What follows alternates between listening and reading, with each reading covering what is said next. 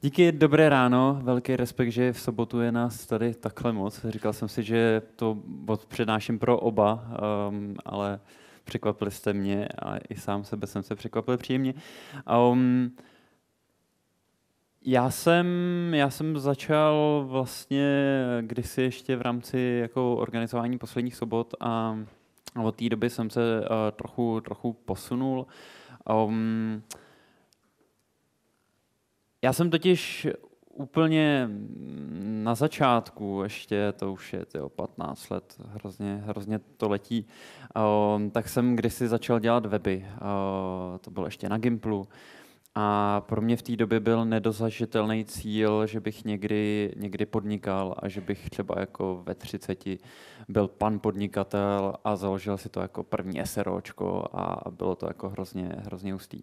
A bylo to jako ve stejné pravděpodobnosti, jako kdybych dneska si řekl, že bych chtěl jako odletět eh, někam na Mars, nebo co to ten Elon vlastně jako vyvádí. Um, a potom, potom jsem na vejšce v prváku, tak jsem potkal člověka a začali jsme se s ním bavit. Ten člověk byl Honza Sládek. A, a za nějakou dobu, asi eh, za půl roku, tak jsme založili první firmu, um, která, která dělá weby, webové aplikace, jmenovala se to Clevis, možná některý pamětníci uh, tak uh, to, to, to znají.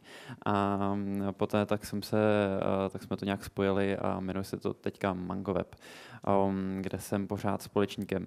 A, a my jsme vlastně uh, jako od té doby, co jsme začali, tak jsme pořád chtěli dělat nějaké vlastní produkty, chtěli jsme si nějak jako hrát nejenom jako dělat klientský bis, ale dělat ně, něco svýho, protože to možná sami víte, že když tam máte toho klienta, tak on má svoji hlavu a, a někdy se s ním trochu jako perete a vy samozřejmě to víte jako nejlíp, že, jak, to, jak to dělat. Takže dělat ten vlastní produkt je, je jako uh, takový někdy nedosažitelný sen, zase jako spoustu vývojářů nebo spoustu firm, spoustu jednotlivců.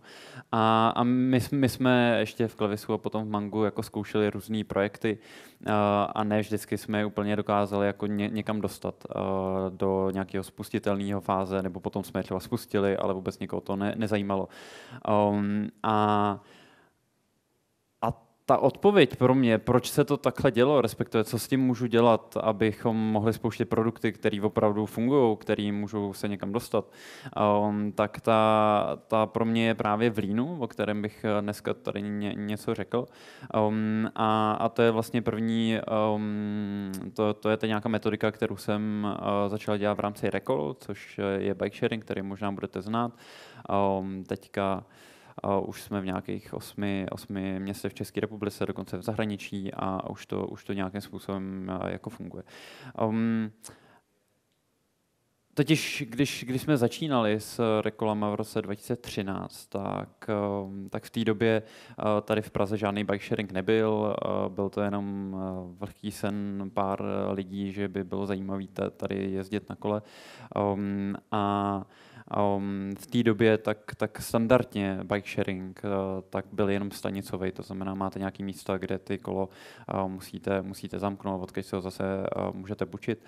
Um, a vlastně ta, ta, ten nápad, ta, ta myšlenka na začátku, tak byla, hele, jako možná to nemusí být o těch stanicích a možná to může být jenom o tom kole um, a, a o nějaký třeba aplikaci, kterou budete používat, uh, nebo ty uživatelé budou používat, aby si to kolo mohlo vůbec najít a potom, aby se ho mohlo počít. A, a tohle je podle mě nějaká jako prvotní myšlenka, podobně jako vy, každý z vás můžete mít nějakou myšlenku, hele, tady mám super produkt, projekt, jako chtěl bych tohle rozjet, tak, tak máte na začátku nějaký nápad. A, a kdybych neznal Lean, tak bych začal ten nápad hnedka realizovat. Prostě si řeknu, jasně, tak jdu se do toho ponořit, jdu to naprogramovat, že jo, jdu prostě rovnou začít, jako stáhnu si nový nete, jo, a, a jdu to tam jako za, začít baslit. A, a to jako není úplně jako špatný, ale po nějaký době můžete zjistit, po tom, co to vytvoříte a potom, co do toho dáte ten svůj jako čas a, a ty, ty noce um, a spoustu kofeinu, tak můžete zjistit, že to možná úplně nefunguje, že jako sice ten, ten programátorsky to může být skvěle napsaný, ale třeba to nikoho vlastně nezajímá, třeba vy neřešíte nějakou potřebu a vlastně jste spustili něco, ale a nemáte tam jako žádný uživatel, nikoho, kdo, kdo by to používal. A, a ten pohled, jakým na to jde, jde lean, um, což je v angličtině štíhlý, tak uh, je to právě o tom začít úplně v něčím, něčím malým a především je to dívat se na nějaké rizika, které na tom projektu jsou a postupným způsobem se snažit odriskovat za co nejmenší úsilí, který to můžete dát. Uh, a konkrétně uh, tohle teda je knížka, uh, kterou pokud nic jiného se z toho mýho tolku neodnesete, tak bych byl hrozně rád, kdybyste si odnesli, jako, že tady existuje něco, co se jmenuje Running Clean. Um, Um, a, a já jsem si tuhle knížku uh, přečetl a, a začal jsem to dělat, uh, dělat podle toho. Konkrétně ten první krok uh, tak je tak je vytvořit si takovýhle nějaký uh, lean canvas, což je zjednodušený business model, um, kdy spoustu krát právě i, i já, uh, když jsme, když jsme dělali nějaký ty projekty, tak jsme prostě rovnou začali řešit to solution. Já si tady někde... No, jo tohle. Tohle je to vaše řešení, to je to prostě jdu se do toho ponořit a jdu to programovat. Ale v zásadě jako je to o tom, aby to celý dohromady nějak dávalo smysl a to, na co hrozně často, jako třeba já, jako když jsem začal jako vývář, jsem zapomínal, takže je tady nějaký problém, nebo jako v angličtině problém, v češtině je to spíš nějaká potřeba, jo? nějaký lidi potřebují něco řešit. No a potom jsou tady taky ty lidi, jo? který by to jako potřebovali řešit.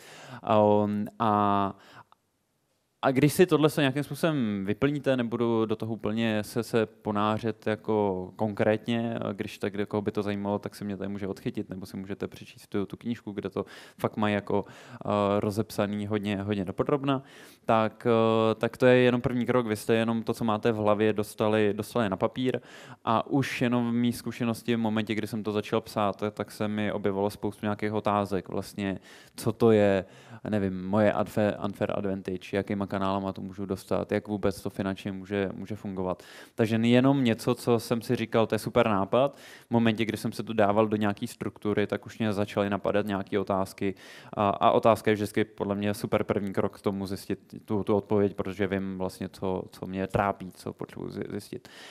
A v momentě, teda, kdy jsem si to, tohle vyplnil, tak eh, jsem měl uh, nějakou hypotézu o tom, že takhle by to mohlo fungovat. Jo. Takovéhle papíru jsem si třeba i mohl vyplnit víc, jakože jsou různé hypotézy, jak by to mohlo fungovat.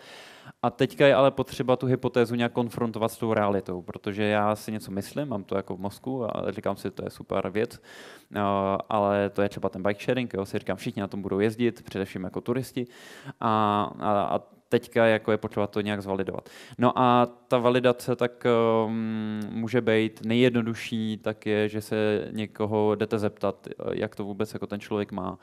Konkrétně nejvíc rizikový na začátku tak je, že vůbec nikdo nebude mít uh, ten, ten problém, a vůbec nikoho to nebude zajímat.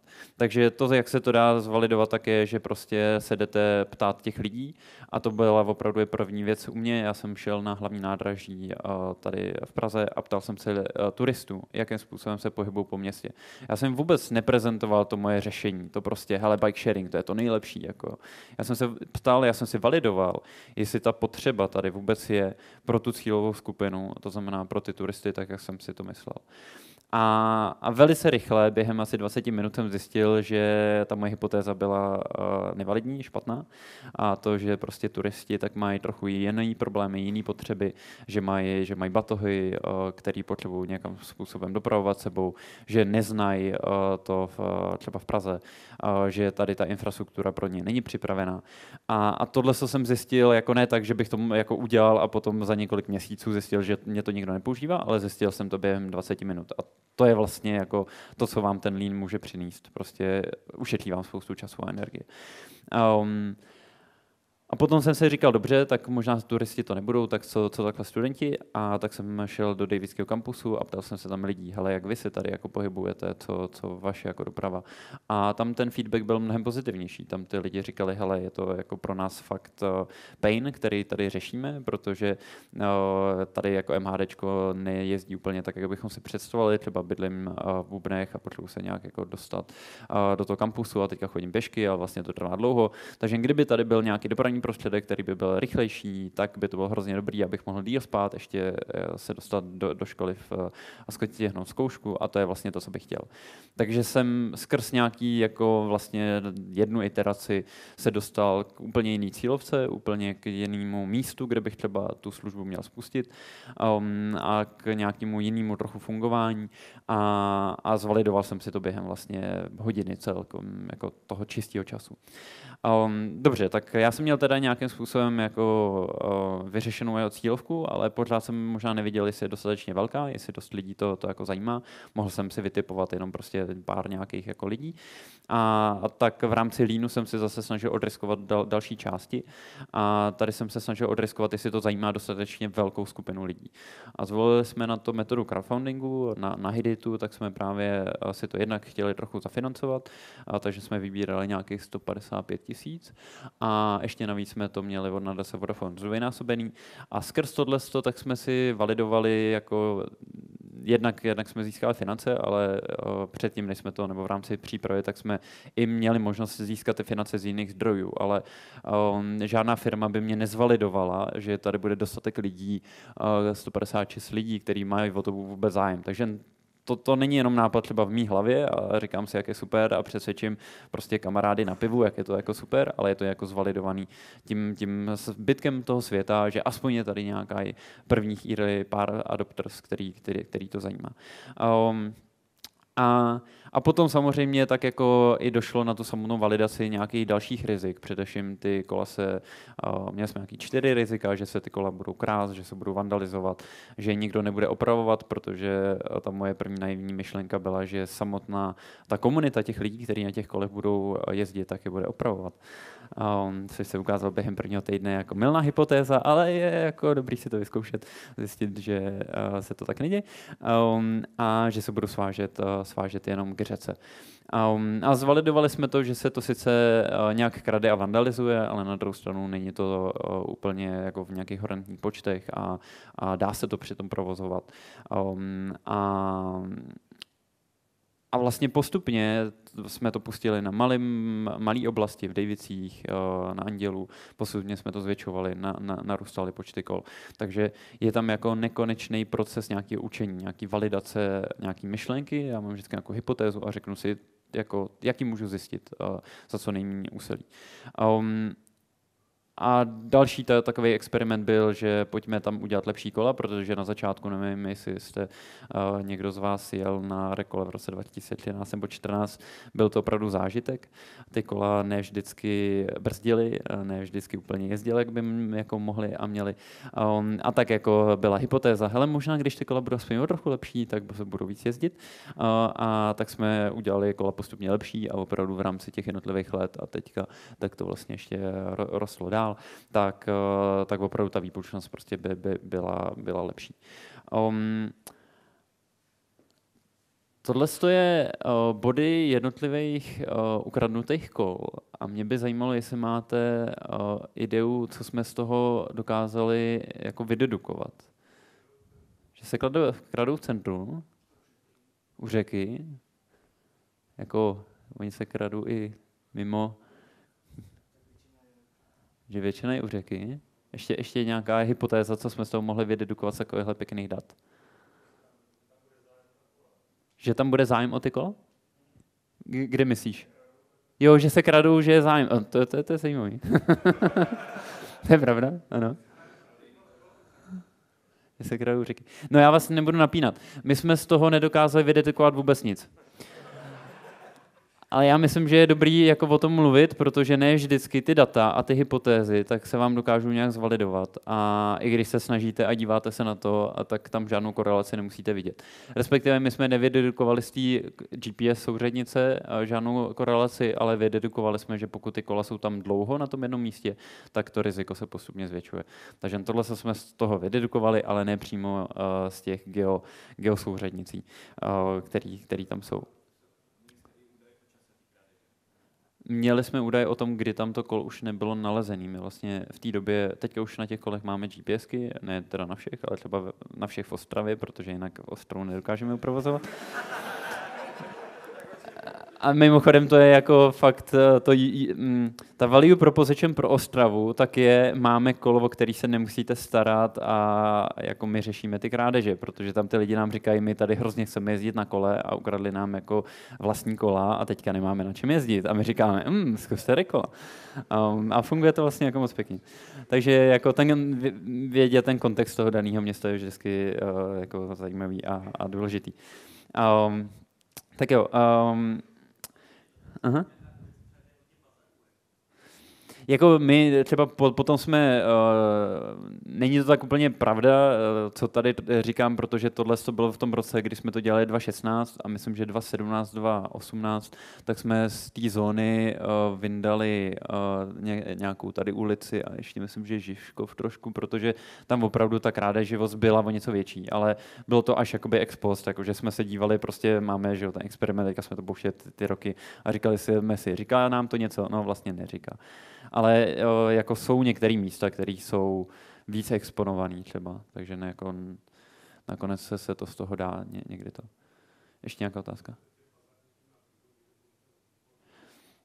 Ono, eh, my teďka máme v Praze eh, ty kola nový, ehm, nebo nejenom v Praze, ale postupně jsme z těch recyklovaných kol se dostali do, do kol nových a ty kola jsou na našich speciálních rámech, takže my víme, i když to kolo je přebarvený, tak víme naprosto přesně, že to kolo je naše.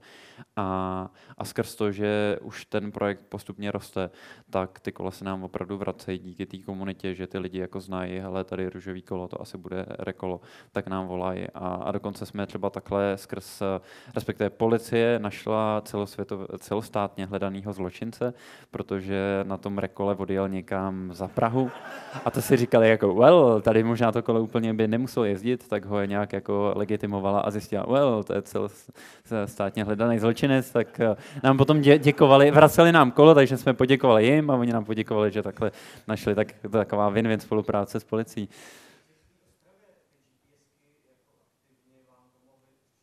Jo, jo, jo.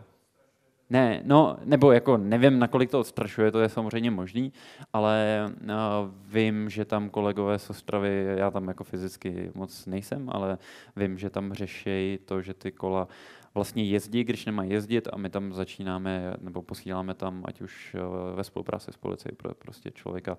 A to se dělá na nějakém, myslím, že týdenní bázi. Nebo se to dělo jako na začátku, a teďka už jsem se o to zase nezajímal, ale vím, že lidi na těch kolech vlastně jezdili a, a tím to, nebo tak víme, že se to krade, že, že prostě nemáš to půjčený v apce, jedeš a my tě zastavíme a, a nějak to s tebou řešíme. No.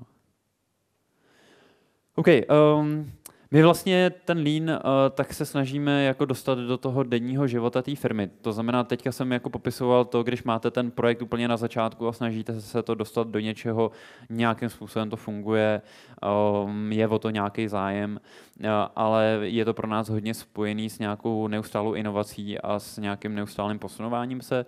My tu výhodu ještě máme v tom, že teďka teda uh, jako jedeme v těch osmi městech Česku a začínáme tam mít zahraniční město, Teďka jsme spustili Finsko a, a bavíme se prostě o nějakých dalších městech a, s, um, a státech. A, a tím pádem my můžeme běžet uh, nějaký experimenty, pořád nějaký jako validace nějakých hypotéz uh, na uh, denní bázi. A, a Lean právě v tomhle tom jako přesně i ukazuje, že, že to není jenom o tom samotném spuštění, ale že to je i o tom, jak tu službu dál vylepšovat a jak ji jako posouvat. A tohle je jenom screena nějakých starších experimentů, který jsme si dělali. A, a je, je to prostě o tom, že vždycky někdo z týmu uh, tak má nějakou hypotézu, nějakou představu, hele, to by bylo skvělé udělat takovouhle akci, to by bylo skvělé. Uh, pouštěli jsme třeba uh, na, tady to myslím, že by bylo, jo, košťata, půjčovali jsme rekošťata na čarodějnice, takže jsme prostě natřeli na růžovo košťata a měli jste je možnost si půjčit v apce a, a děláme spoustu takovýchhle věcí. Um, a v zásadě je tam, je tam nějaká hypotéza, je tam nějaká cena teda a potom je tam nějaká metrika. A to je právě jako důležitý si dát tu metriku před tím, než eh, to vyhodnotíte. To znamená, vy si řeknete, hele, mě to bude něco stát, ať už finančně nebo časově, a chtěl bych, očekával bych, že eh, se něco stane. To znamená, zvýší se mi počet aktivních uživatelů, půjčí si tenhle se dopravní prostředek ně, něco ně, několikrát, a bude nějaká odezva. Jo. Ty metriky, tak těch může být jako spousta a je to o tom, jak konkrétní změřím, protože když vlastně nevím, že um, ta metrika vůbec je, nebo jak to změřit, tak vlastně nevím, jestli ten experiment dopadl nebo nedopadl dobře. A to důležité je si to dát předtím, než ten experiment budu uh, nějakým způsobem reviewovat, protože člověk uh, tak uh, skrz nějaký emoce si jako nakonec řekne, ta, že to dopadne tak, jak chce, aby to dopadlo. Jo? To znamená, si řekne, hele, no tak vlastně nakonec to bylo dobrý, protože něco. Ale když si to řekne jako na začátku, takhle to změřím, ta, tady to číslo má být minimálně 50 a potom jsem to změřil a je prostě 45, tak to prostě nedopadlo tak, jak jsem chtěl na začátku. No, můžu se z toho nějak poučit a to je, o, o tom to vlastně je, to o tom se neustále jako poučovat. A, a a vlastně tady máme potom nějaký zhodnocení výsledek, to znamená, máme, máme, nějak jsme si to vyhodnotili, dali jsme si nějaký ty reální metriky, podívali jsme se, co se, co se dělo a potom jsme si řekli nějaký výsledek. A, a skrz to, tohle, tak my se, my se prostě pořád posunujeme dopředu. A třeba když nějaká metrika funguje nebo nějaký experiment funguje v nějakém městě, tak to můžeme vyzkoušet v dalších městech, když to nefunguje, tak se to třeba snažíme iterovat postupně, měnit ty věci tak, aby to, tak, aby to fungovalo. Um, a já kdybych se vrátil na, na začátek, tak um, ten lean je pro mě jako zajímavý v tom, že to, to, to asi jako víte, že, jo, že se říká nějaký 9 z 10 startupů nebo nápadů a projektů failne, um, ale je to o tom, nebo já si myslím, že to je o tom neustálém hledání a je to o té rychlosti. Um, to znamená, pokud my dokážeme zkrátit tu iterační dobu, tu dobu toho nějakého product market fitu, jak se, jak se říká, na, na úplný minimum, tak uh, za ten náš život dokážeme se dostat k nějakému produktu, který reálně funguje dřív, než uh, odejdeme třeba do důchodu a opravdu si můžeme jako užít to, že, že jsme to našli a můžeme, můžeme s tím nějakým způsobem um, jako si hrát v rámci toho našeho produktivního času. Um, a, a to je, to je nějaká jako výzva ode mě pro vás, jako fakt se toho nebojte a zkoušejte to, hledejte to, um, protože vlastně nakonec i uh, i když to jako nepůjde a kolikrát se spálíte, tak, eh, tak nakonec si myslím, že opravdu máte hrozně vysokou pravděpodobnost, že tam najdete to, co reálně funguje.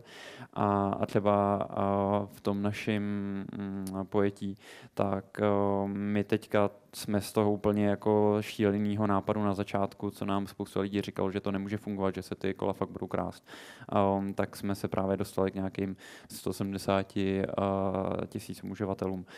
Um, máme každý měsíc jsme měli 100 tisíc uh, výpuček uh, těch kol. Um, a, a to si myslím, že vlastně má nějakou cenu. No ta bene před čereškem, tak jsme nějakou cenu zase vyhráli.